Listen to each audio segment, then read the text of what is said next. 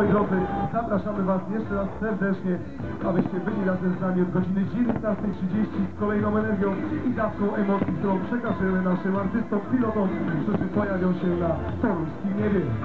A teraz życzę jeszcze raz miłego podziwiania pięknego pokazu.